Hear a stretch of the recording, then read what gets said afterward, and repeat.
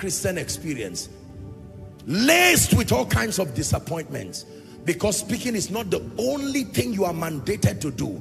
There are actions of obedience based on what scripture has given us and based on the Rhema word that comes by the Spirit as a unique strategy for you. If the nation of Israel kept shouting before Jericho, in the name of Jesus, Jericho, you must go down, they would have died for nothing. Beyond speaking, a strategy was given to them and they walked in obedience and that's what brought Jericho down. Listen to me. I want to challenge you. I have seen this in my visions and the word of God confirms it.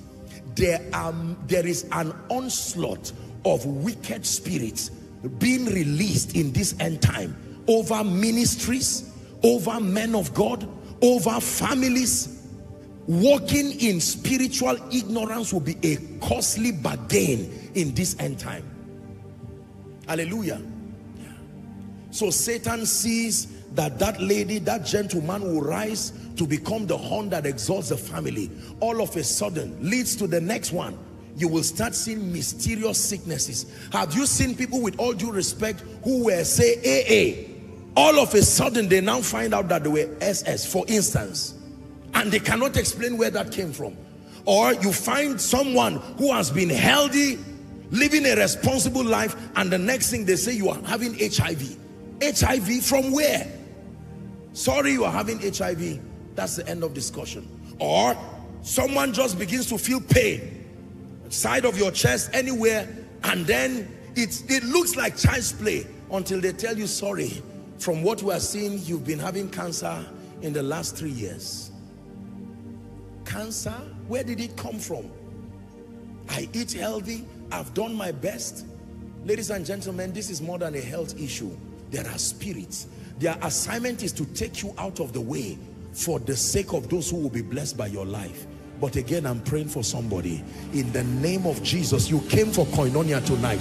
If there is any sickness in your body, whether you have detected it or not, that is growing to become any blood disease or any cancerous statement, in your life as sickness you're a man and it looks like enlarged prostate is growing to become cancer or cancer breast cancer lung cancer i don't care what it is called i curse it now in the name of jesus i curse it now in the name of jesus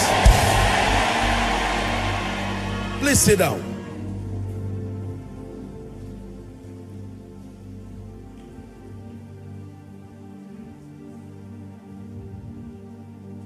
I told you a story here years ago. This happened in Zaria, true story. A woman who was pregnant and in a dream, she would always see like monkeys, true story, come, you know, to molest her and all of that. And she just shrugged it over, true story. She had a stillbirth as she gave out, gave birth to a hairy child looking physically like monkeys. Ministry is like medicine. You will see all kinds of things that you would not have believed except that it is right before you. I have seen a woman who got pregnant. Her husband had died. Oh, She got pregnant because a spirit came to molest her and physically she started getting pregnant. And you see, as a man of God, all those problems is you they bring it to. Everybody just runs to you and say, look, just know what to do with me because this one is a spirit. Don't get into end time ministry if you don't have power. You will make a mockery of yourself, your family, and the name of Jesus. Are we together now? Yeah. Let's talk about sicknesses and disease. I have taught you koinonia that sickness is an, a gradual administration of death upon a person. Now, the way God designed his system, let me repeat for your understanding, is that everybody is given the privilege of one body per lifetime. Please do not forget this. We are given the privilege of one body to host your spirit per lifetime. Lifetime meaning the period from when you are born until you finally transit out of this realm. You are given the liberty to have one body per lifetime and maintaining that body is important for your longevity are we together now Yes. And one of the commonest ways that Satan takes people out of this realm before their time knowing the laws that God created around living is that he afflicts your body listen please so that your body deteriorates. Now there is a certain health requirement for your spirit to remain in your body. When your body deteriorates beyond that point your spirit will have to leave whether you are done with your assignment or not so when Satan sees that this person, it looks like there's nothing we can do with that person, sickness comes into your body. And what happens is that it starts to deteriorate your body. And it gets to a point where your body can no longer host your spirit. And at that point, you will have to leave. Hallelujah. This is what happened to the man Elisha even though he was an anointed man of God. You will think as anointed as Elisha was, a man who could heal anything, he died of sickness. It was sickness that killed him and the anointing was still in him. And that anointing was there in the bones and it raised the dead body back to life. Yet it killed the one, the one who had it could not benefit from it because there are rules of engagement. Are we together? They were bringing a dead body and the dead body fell and touched the bones of Elisha and jacked back to life. What a miracle. And yet the person, the owner of that body became sick until he died. Can I tell you this?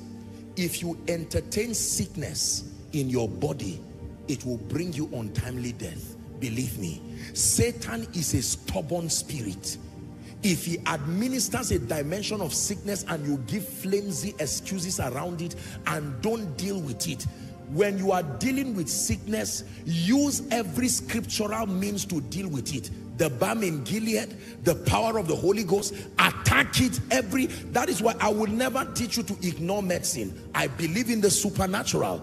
I will administer the supernatural till the day I see his face but I am a responsible man of God and I will not teach people to ignore medicine if your faith has not grown to a level where the power of God becomes active to keep you strong. Do not feel guilty. Take responsibility and see a doctor. Come for koinonia and we pray for you while we all keep growing. Are we together now? That is responsible Christianity. Many Christians in a bid to practice faith without guidance and with wisdom have deteriorated their health in a way that it could be managed. Simple things that, and Satan is an opportunist. The moment he sees a loophole, are we together now? For one year, you've been having severe pain around the heart. Doesn't matter what, I just know plus Jesus minus Satan. Careless Christian experience. And many people embrace it that way until they tell you, ah, if you had come two years ago, would have been able to work on this. You've been having internal bleeding for years. You've not cared to check it. It is your responsibility to work in partnership with the word of God, to work in partnership with the wisdom of the spirit, to keep this body healthy enough for your spirit to remain comfortable as you serve God. Are we together now? Years ago, someone sent a text that he saw me dying. Said, my friend, please get out of my way with all that kind of revelation. Is it easy like that to die?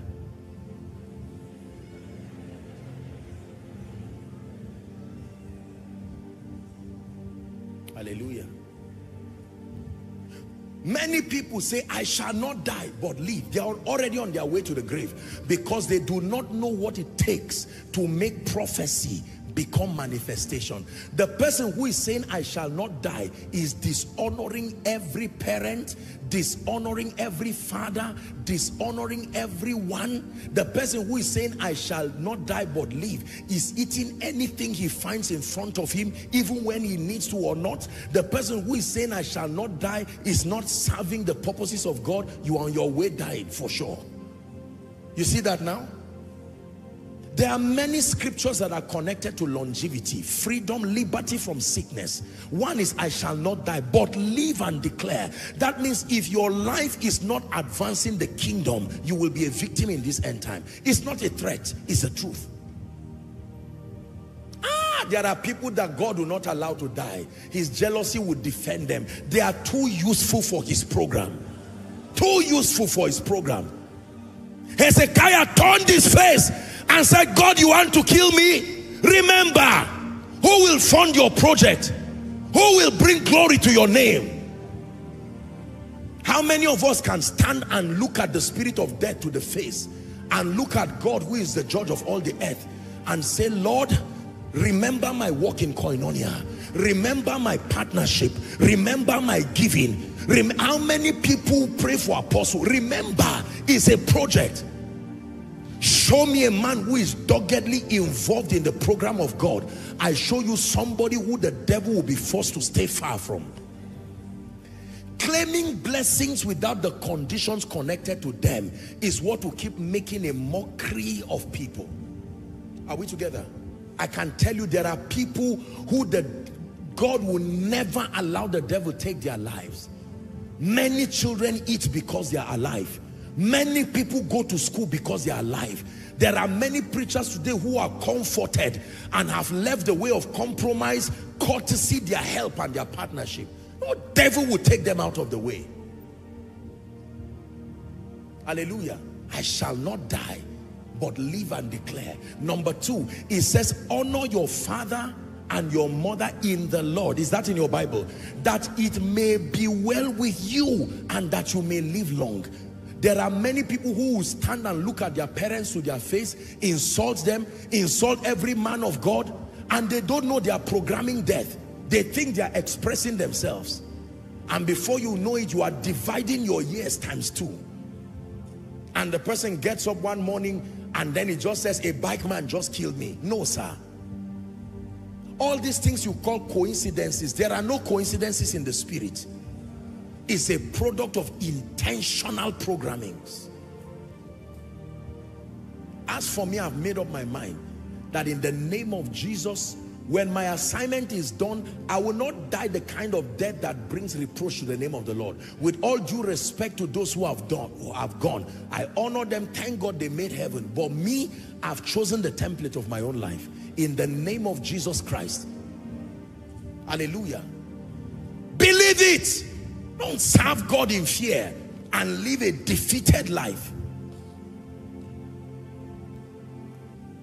Ah, this body will not carry cancer.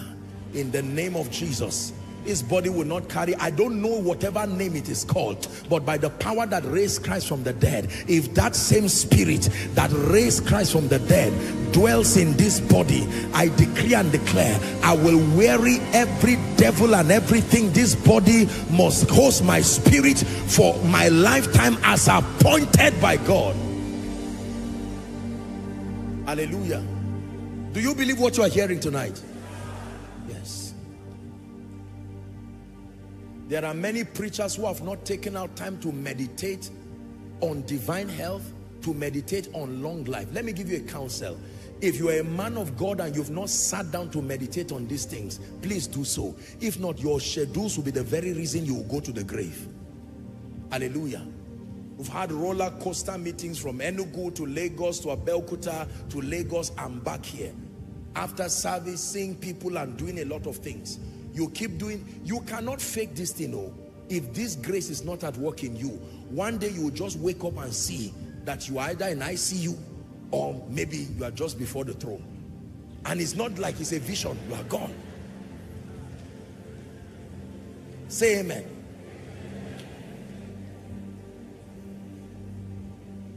Hallelujah. You make up your mind intentionally you don't say I shall not die because you are afraid. No, we are already victorious. If Jesus comes today to be absent in the bodies to be present with the Lord, the advocacy for long life and health is not because of the fear of death. It is because there is much to be done for the kingdom and you require your body to host your spirit. Are we together now? Say I shall not die. Don't keep quiet. Oh, say I shall not die. In the name of Jesus Christ. You come from a family where the devil kills people with all due respect people died before their time. I'd like you this night while you are listening to me. Make get, let a holy anger rise in your spirit that it will be from me. This untimely death this spirit that comes upon people and just waste their life. There are those the moment they're getting to 46 47 48 they start becoming afraid moody and emotional. Because when you cross 50 from those families that is even a testimony Hallelujah. He gave them power. Gave them power. Acts chapter 10 and verse 38. How God anointed Jesus of Nazareth with the Holy Ghost and with power. He went about doing good and healing all they that were oppressed of the devil for God was with him Matthew chapter 10 and verse 1 give it to us please and when he had called unto him the 12 disciples, he gave them power against, are you seeing the pattern now? Unclean spirits to cast them out. Then to heal all manner of sicknesses and all manner of diseases. He sent them with a message, verse 7, as ye go preach, saying, the kingdom of heaven is at hand prove the reality of that kingdom verse 8 by healing the sick cleansing the lepers raising the dead cast out um, cast out devils. Freely you have received freely give. When you read from verse 9 the next thing is talking about supplies. It's always been in that order. You deal with spirits your body. I'm coming to the issue of supplies. But my assignment is to speak to the body of Christ. There is a, a need for a heightened awareness of the principles that truly make for health and longevity. May God forbid that you wake up one morning and just find out that somebody you loved has gone. I know that most of us here, we've lost loved ones, no problem. There's nothing we can do. We thank God that they are in Christ. But since you are alive, you have a chance now to define your reality. Do you know there are people right now who, based on the satanic programming, they are not supposed to see December 31st. They are alive, oh, they are already working now, but they are part of the list. From now till December, this one, let's try accident. If it does not work, try a satanic migraine headache. Oh, this one is pregnant, she's getting to nine months. Can we use it as an opportunity this her delivery now. This can be an opportunity to kill her. And the spirit scheme it. And that's why the Bible said no weapon fashioned. Weapons are fashioned. They are fashioned by studying your life. This man is a man of God. Most likely he will be laying hands on a lot of people. Can we program people with communicable diseases so that as he's laying hands, something will come upon him and kill him? This man is a businessman the easiest way to kill him is to make him lose 10 billion naira within one month. What do you think? From there, he will plunge into depression. He may run to a herbalist and on his way coming back, both him and the goat he carried will die on the way. That's the plan. Are we together?